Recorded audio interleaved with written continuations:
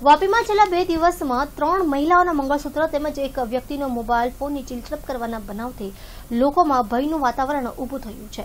વાપી પંથકમાં કાયદો વ્યવસ્થાની પરિસ્થિતિ સાવ ભાંગી પડી હોય અને ગુનેગારોમાં પોલીસનો કોઈ ખોફ રહ્યો નથી તે રીતે સ્નેચિંગ તથા ચોરીના બનાવો વધી રહ્યા છે.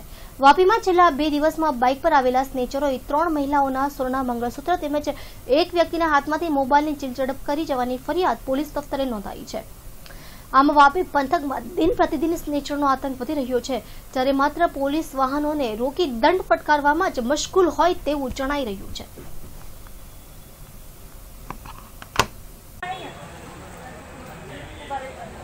દક્ષાબેન કાલસરિયા શું થયું? શું ઘટના બની હતી તમારી જોડે?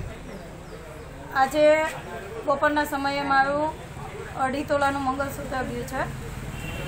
બાઇક પર બે સમૂહ આવીને ઝપટ મારીને લઈ ગયા છે. હું મારા છોકરાઓને સ્કૂલેથી આવે એટલે લેવા માટે ગઈ હતી. અને આ ઘટના બની છે સોયા કોઓપરેટિંગ સોસાયટીની સામે.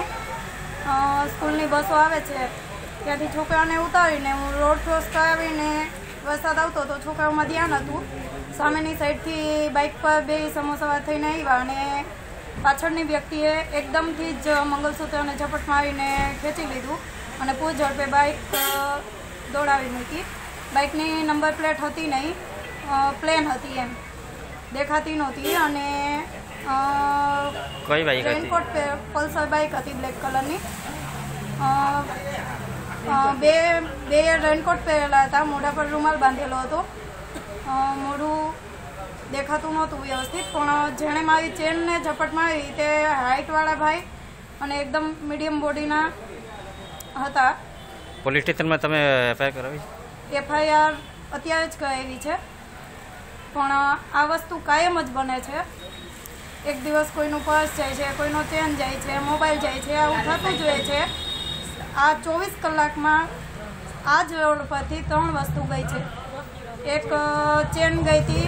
આજે મારું મંગળસૂત્ર ગયું છે અને એક સાયકલ ગઈ હતી.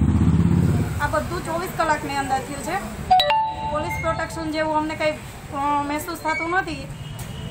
આવું કાયમ ને કાયમ બને જ છે. પર્સ ને મોબાઈલ તો હાલતા જતા આવે છે. એટલે બહેનોને નીકળવું કે નહીં, નીકળવું એવો એક સવાલ થઈ